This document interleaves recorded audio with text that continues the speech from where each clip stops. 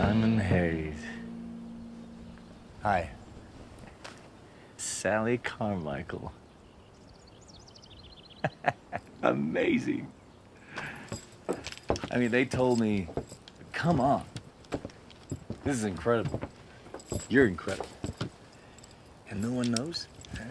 Everyone thinks you're some Mormon mom. Well, I am Mormon. I'm not a mom, obviously. I am. Mormons are great.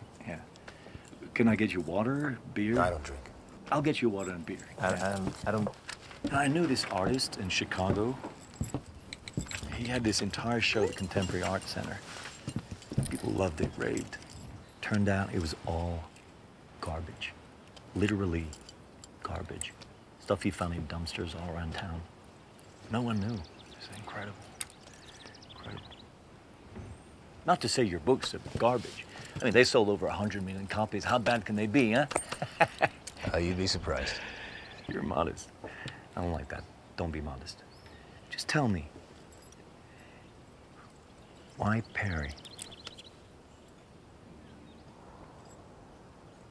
Why Perry what? Why Perry Quinn? Why not Perry Quinn? Why Perry Quinn for this movie? I, How? I, don't- I don't know. Why not Matthew McConaughey? I'm kidding. I'm kidding. I'm kidding. I'm also serious. Oh. If I'm going to commit to this hoax, I need to know why you want me, Perry Quinn.